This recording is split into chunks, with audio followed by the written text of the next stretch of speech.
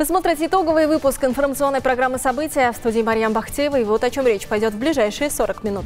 Биржа импортозамещения по-пензенски. Запросы и предложения производителей на одной площадке. Сейчас добрались до э, атомной тематики, для атомных электростанций. Проводим испытания. 200 белорусских троллейбусов для пензенских дорог. Первые контракты после визита сурской делегации в Дружественную республику. Важный груз из регионов Донбасс. Передали 50 тонн гуманитарной помощи.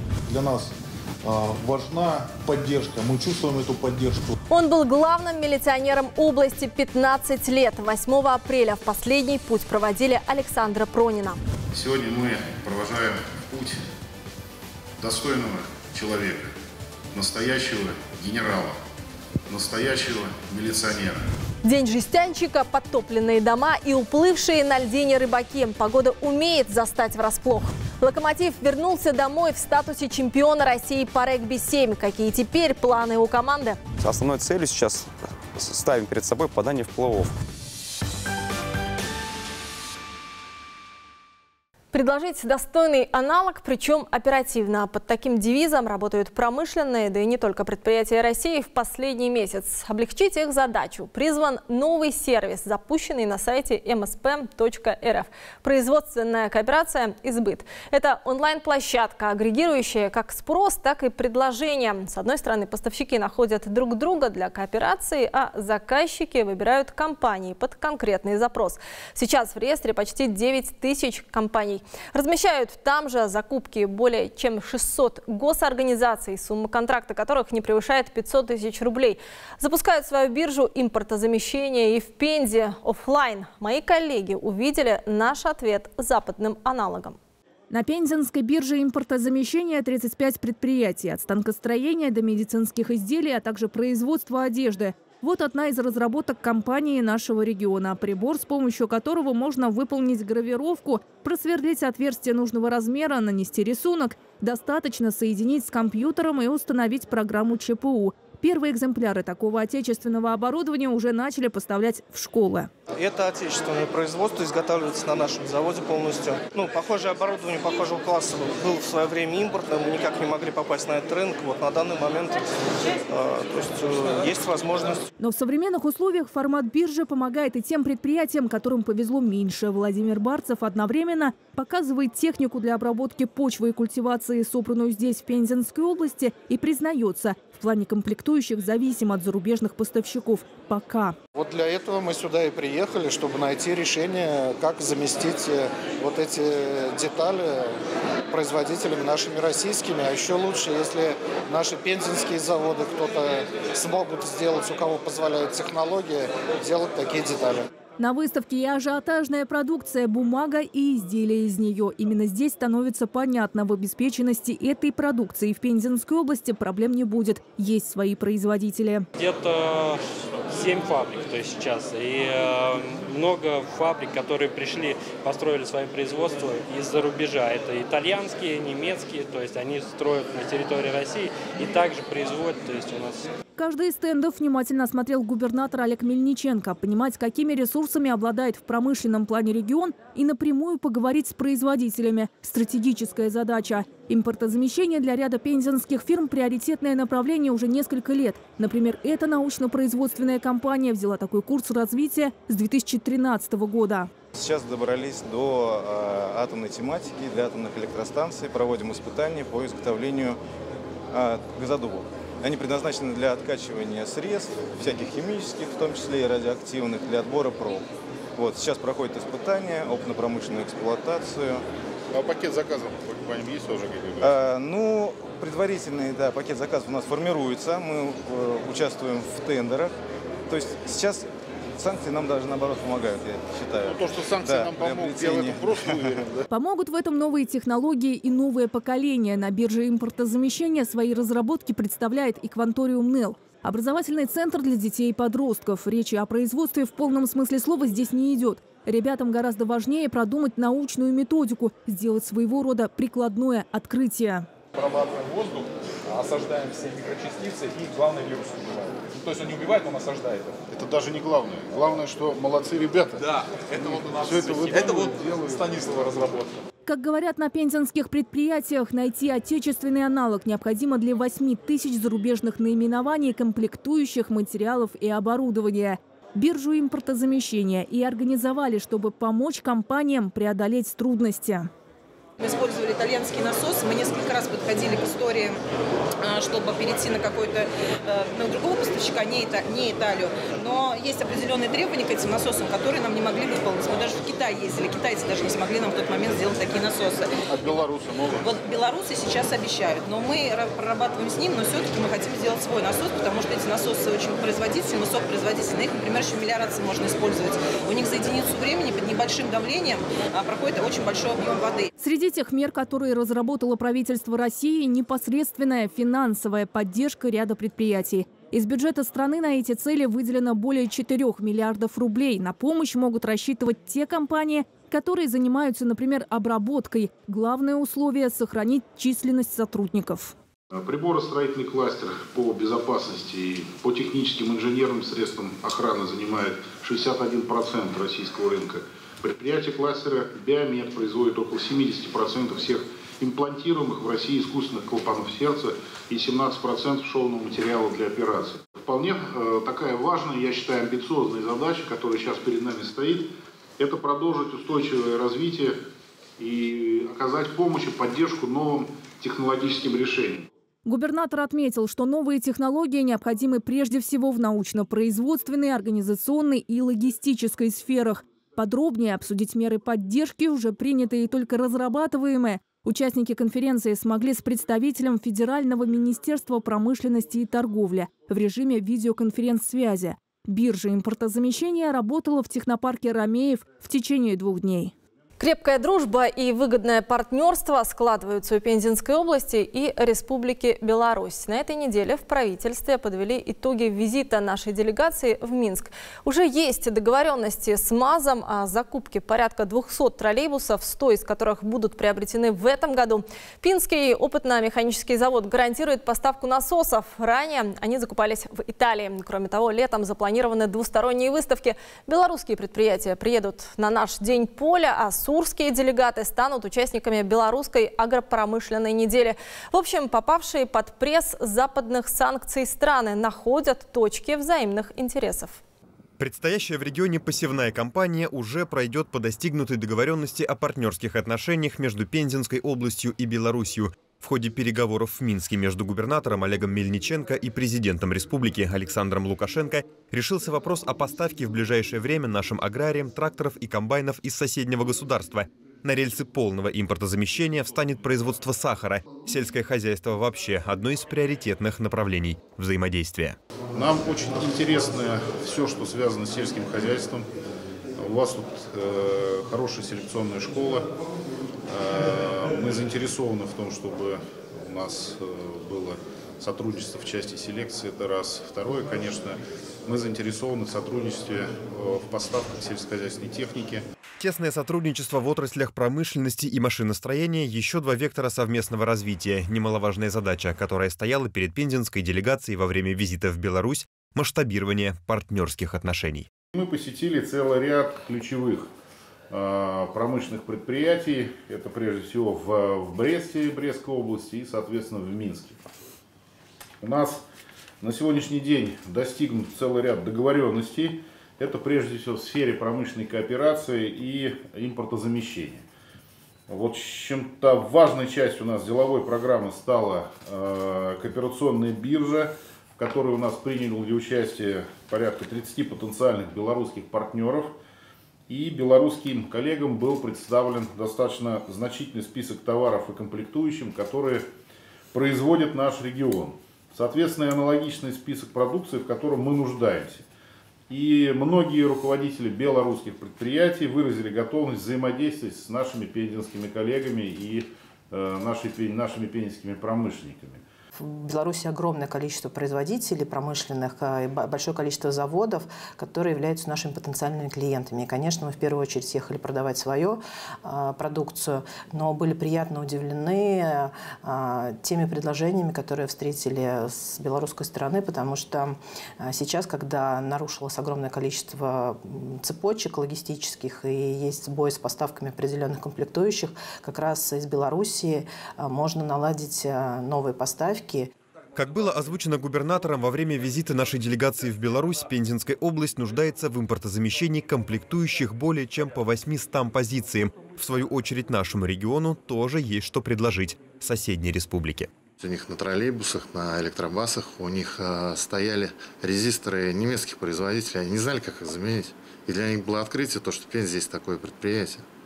Мы сейчас обменялись документацией, сейчас мои конструктора на следующей неделе выезжают туда. Все двери, которые раньше были закрыты, где-то какие-то были наговорки, где-то какие-то были секреты. Сейчас это все открыто, пожалуйста, ребят, заходите, пользуйтесь. Мы к вам, вы к нам. То есть идет прям прямое общение, открытое, хорошее, дружеское такое, братское. Наработки и договоренности, которые были достигнуты с белорусской стороной, не будут отложены, что называется, в долгий ящик в ближайшее время. Как говорит Дмитрий Акимов, в Пензе ждут ответного визита коллег из соседней республики, чтобы они также воочию могли увидеть местные ведущие предприятия и найти еще больше направлений для взаимодействия.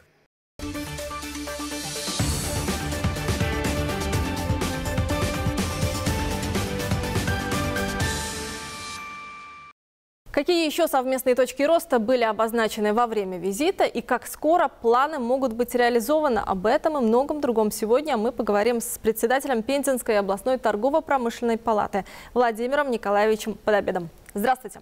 Здравствуйте. Владимир Николаевич, в первую очередь хочется поинтересоваться, каковы личные впечатления от визита?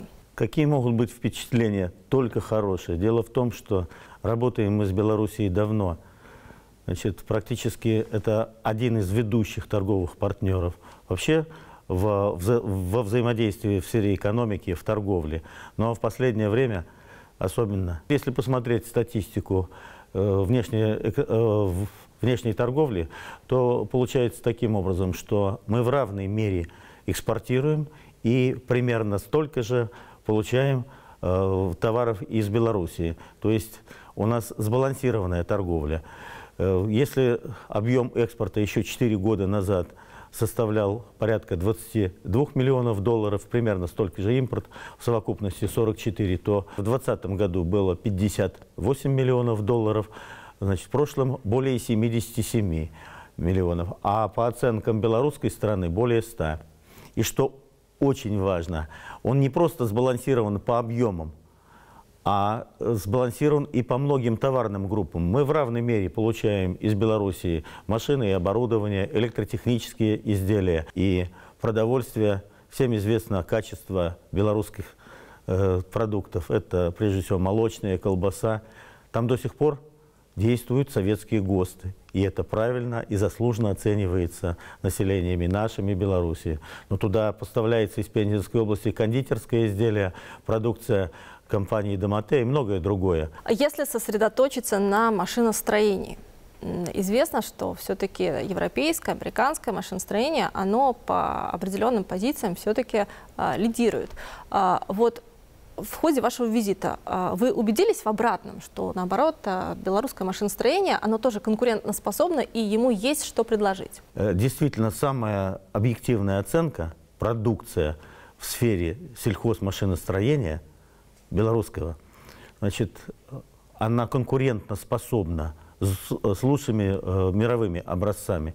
И в этом, раз, э, в этом не только в ходе поездки убедились. Прежде всего, в этом убеждаются те, кто на этой технике работает, пользуется ею. И в ходе поездки значит, э, было обозначена наша заинтересованность в приобретении дополнительных корма зерноуборочных комбайнов, значит, дополнительные техники Э, белорусского тракторного завода, около 60 позиций. Э, единственное, чего нет из э, сельхозмашин, продукции сельхозмашиностроения, это свеклоуборочных комбайнов. Да, это сложная, серьезная техника, которая раньше было проще купить за рубежом. На сегодняшний день уже на выходе свеклоуборочный комбайн, и первая партия их поступит на испытание и в нашу область. И я думаю, что когда будет взаимодействие, там найдется и как бы точка приложения э, значит, в поставке комплектующих на Гомсельмаш. А пензенские предприятия тоже поставляют в Беларусь определенные комплектующие. Вот была ли достигнута договоренность, либо составлены планы о каких-то совместных производствах и где они будут располагаться? Ну, прежде всего, я продолжу вашу мысль о том, что, безусловно, в продукции белорусских предприятий, в тракторах, комбайнах, автобусах и так далее, более половины комплектующих – это российские, начиная с двигателей на автобусах, э, комбайнах и многое другое. И вот данный визит, я надеюсь, послужит хорошим толчком к дальнейшему расширению наших контактов. А вот что касается совместных предприятий, это очень здорово, что разговор как раз и перешел именно в такую плоскость, что от обмена продукции пришла пора обмена компетенциями. Владимир Николаевич, кроме Беларуси, какие еще страны интересны нам с точки зрения импортозамещения? Ну, во-первых, свято место пусто не бывает. Кто объявил нам санкции? Прежде всего Соединенные Штаты, Великобритания, Евросоюз. Но, будем говорить так, две трети мирового населения проживает в другой части мира. И по своим технологическим возможностям, значит, многие отрасли промышленности в Китае, они формировались на основе, э, в, так сказать, наработок, которые действуют в мире. Это раз. Далее, э, в Корея достаточно прагматично себя ведет в этих переговорах с тем, чтобы застолбить за собой место. Не по всем направлениям, не по всем направлениям санкции объявлены Японии. Они вначале объявили, а уже сделали обратный ход насчет поставки некоторых видов микросхем. Надо искать и находить решения. Но прежде всего, крайне важно, системно, а в плановом порядке определиться, что необходимо делать в первую очередь, где у нас есть свои компетенции, которые не полностью утрачены, а где нам нужны те партнеры, которые, ну, слово капризное неприемлемо, значит, тут более жесткое слово требуется, нежели вот те, которые из европейских стран. Спасибо за визит, спасибо за мнение.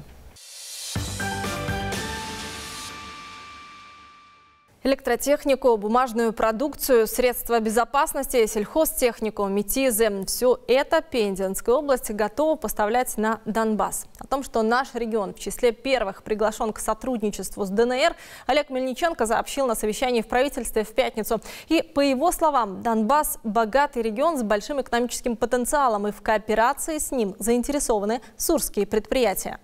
Взаимодействие торгово-экономической, научно-технической и культурной сферах. Эти направления свяжут наш регион с Донецкой Народной Республикой. Договоренность о сотрудничестве была достигнута в ходе встречи руководителей регионов. Станет, безусловно, вопрос о восстановлении нормальной мирной жизни. Причем делать это придется достаточно быстро, чтобы люди не ощущали себя брошенными, чтобы они ощутили сразу же заботу как со стороны руководства э, Донецкой Народной Республики, так и со стороны Российской Федерации.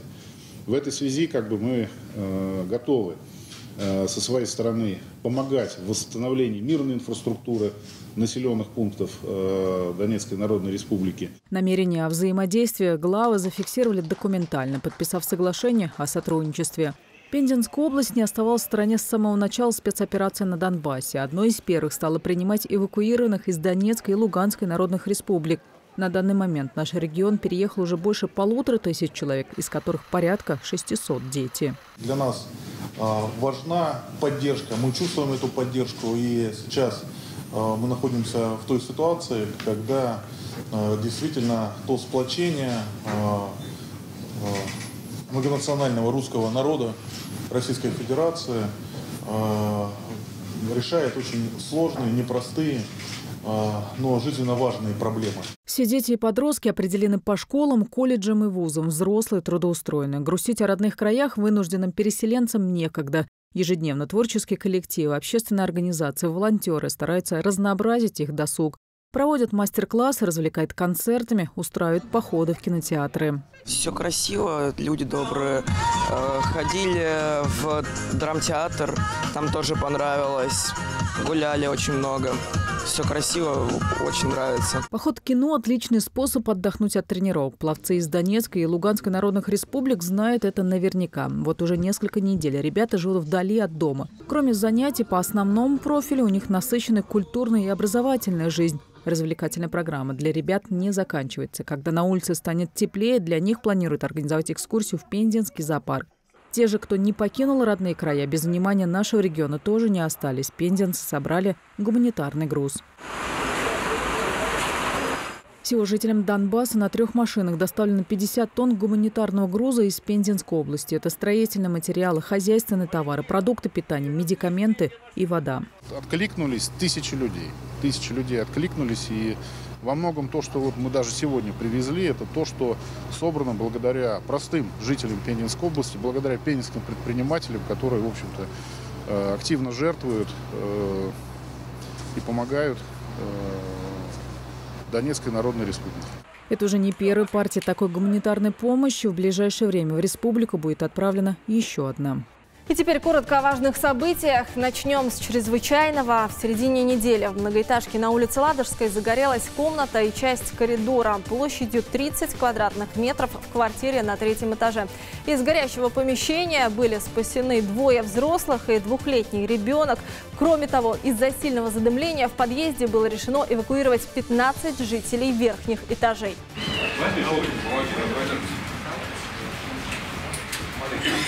В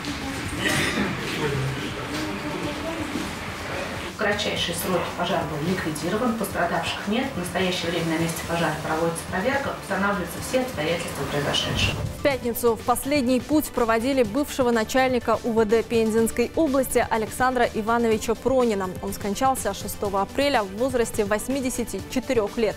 Александр Пронин 15 лет возглавлял управление внутренних дел региона. Период его руководства выпал на лихие 90-е. Неоценимый вклад Александр Иванович внес в создание управления по борьбе с организованной преступностью.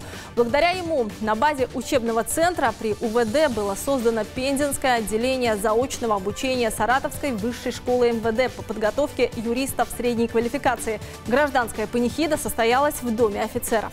Сегодня мы провожаем путь достойного человека, настоящего генерала, настоящего милиционера. Он очень точно умел подыскивать и расстанавливать кадры. Вот это его качество, умение работать с людьми, кого назначить, кого передвинуть, кого иногда и уволить, мне было очень обостренно. Я полагаю, что вот за счет этого и достигалась эффективность в работе правоохранительного ведомства. В этом году 60-летний юбилей отмечает Пензенский колледж искусств. Торжественные мероприятия прошли 4 апреля. Как и любое учебное заведение, колледж в первую очередь гордится своими выпускниками. Их более 6 тысяч. К подготовке специалистов приложил руку в свое время и нынешний министр культуры региона Сергей Бычков. А некоторые педагоги служат искусству в стенах колледжа уже более полувека. Знаете, у нас, у нас атмосфера, где нигде такой нет. Мне, э, я была ну, по роду работы своей, мне приходилось ездить по многим колледжам. В каждом, наверное, было. Но таких детей, как у нас, такой атмосферы творческой, горящий глаз, ну такого нигде нет. thank you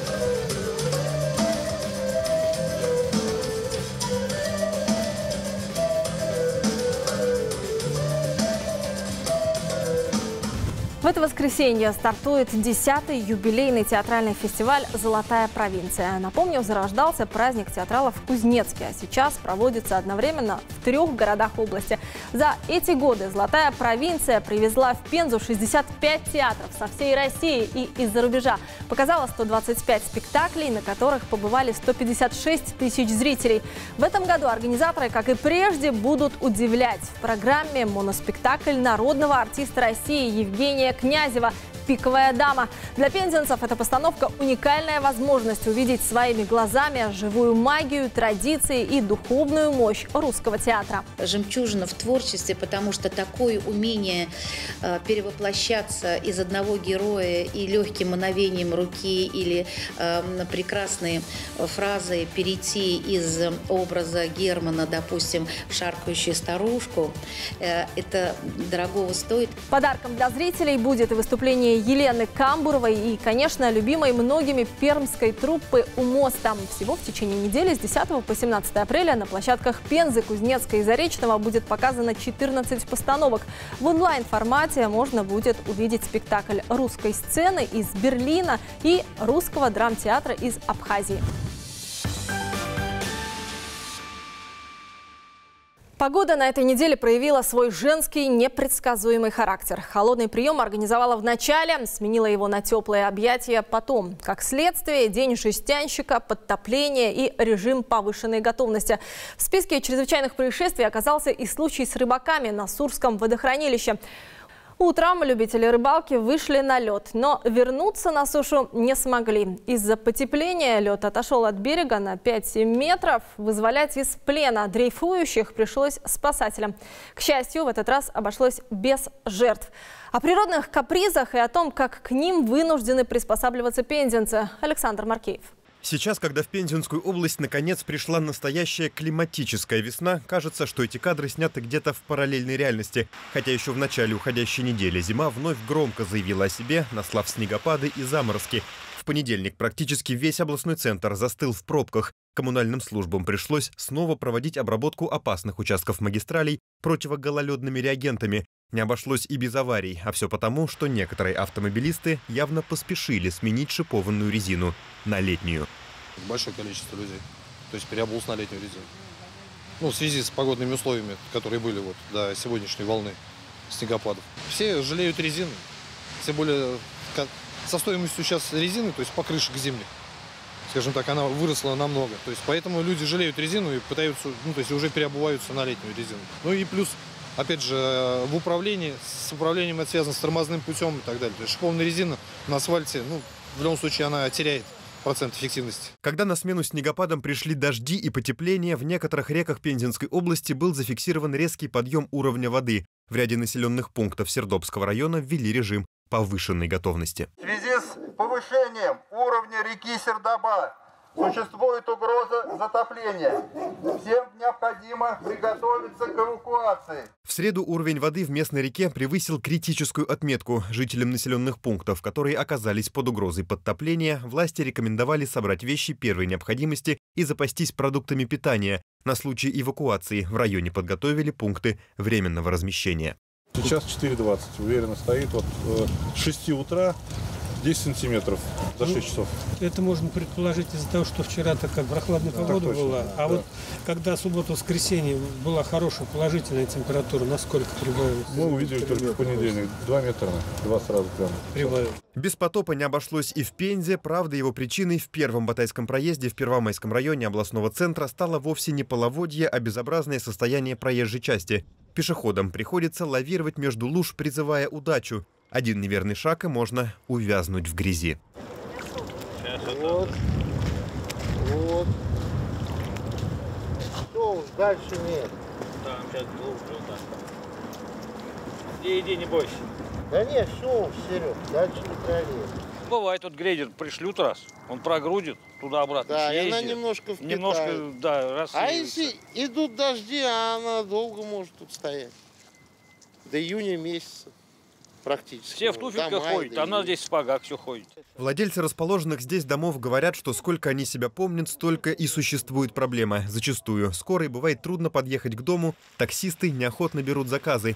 Местные уже обращались и в районную администрацию, и в мэрию, чтобы улицу хотя бы разровняли, на что им ответили, что дороги попросту нет в планах города. Если к основной улице тут нет другой дороги.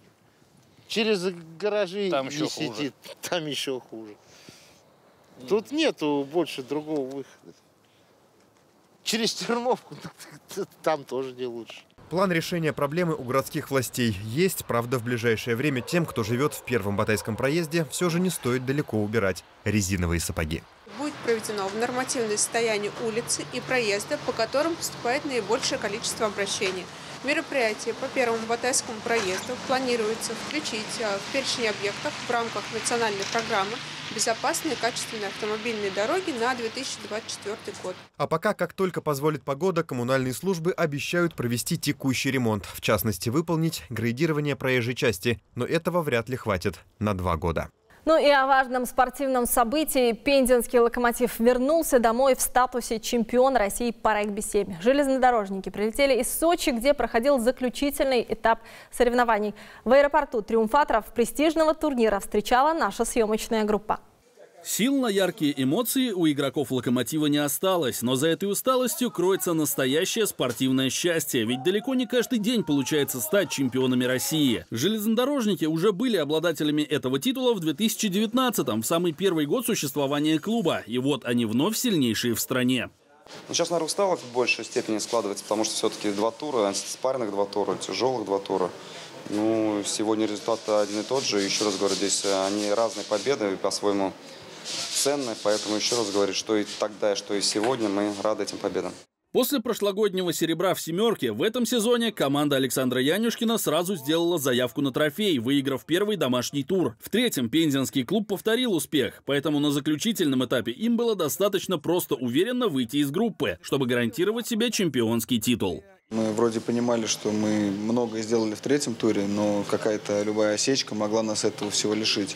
Поэтому мы на каждый матч настраивались э, серьезно, поэтому где-то там счета были большие, до этого таких не было. С задачей железнодорожники справились. Три уверенных победы над соперниками из Красноярска, Таганрога и Санкт-Петербурга вывели «Локомотив» в полуфинал и сделали чемпионами. Сами игроки признаются, что настроиться на оставшиеся игры было тяжело. В итоге пензенцы стали вторыми в заключительном туре и победителями всего сезона в регби-7. Мы провели хорошую работу. Мы не выиграли последний тур, но все равно были в финале. Я думаю, что каждый в нашей команде внес свой вклад в общий успех. Я счастлив вернуть кубок домой. Конечно, хотел вернуть себе звание чемпиона.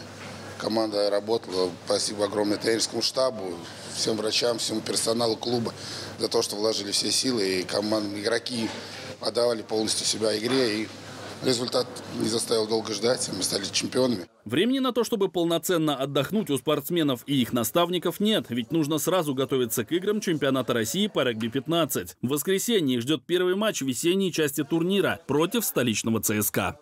Как настраиваются на предстоящие игры сурские регбисты и что с международными турнирами мы не могли не поговорить с главным тренером команды и отправились на стадион Первомайский, где сейчас активно готовятся наши ребята.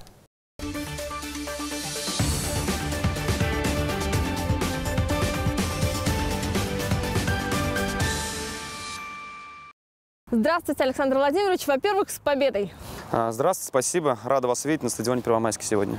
А, на самом деле, это уже не первая победа. В 2019-м а, была победа в регби-7. А, есть разница между этими двумя и какая дороже?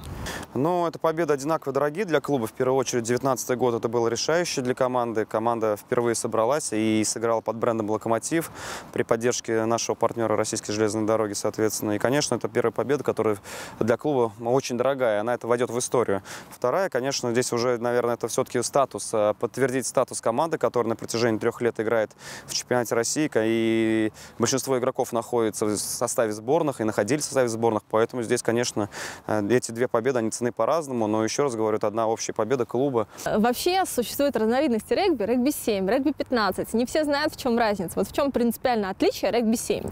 Ну, регби-7 это олимпийская дисциплина. Она более, скажем так, играется по сокращенной системе. И количество людей на поле все находит 14 человек с обоих, с обоих команд, соответственно. И здесь, безусловно, это более скоротечная игра, более динамичная, более быстрая. И здесь, наверное, исход матча может решить один игрок.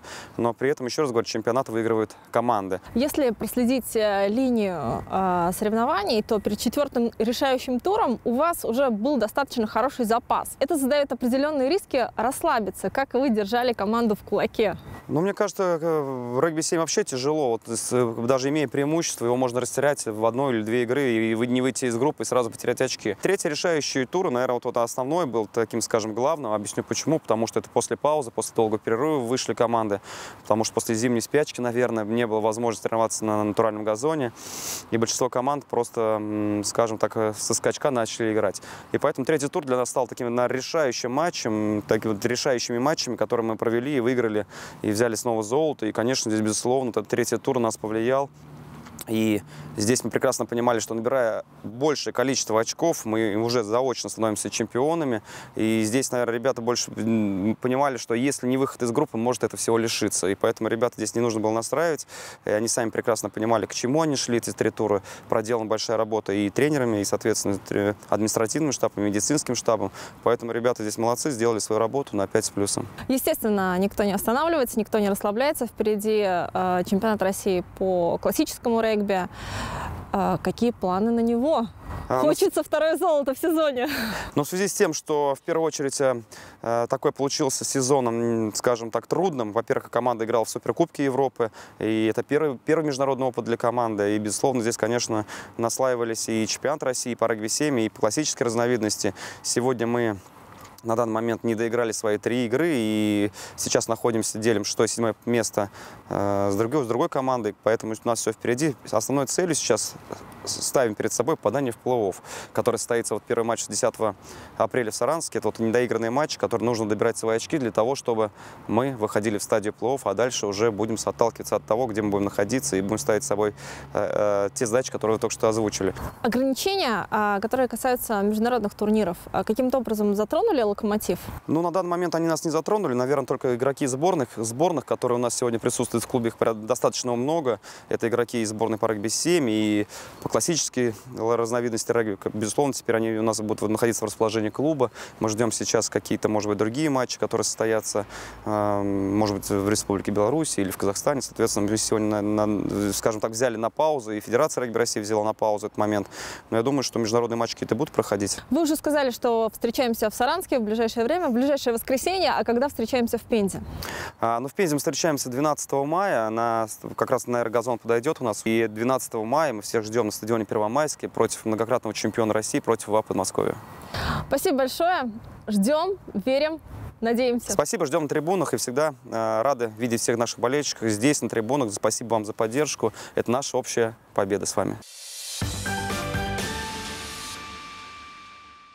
На этом у меня все. Спасибо за внимание. Ну а далее знаки с Анатолием Володиным.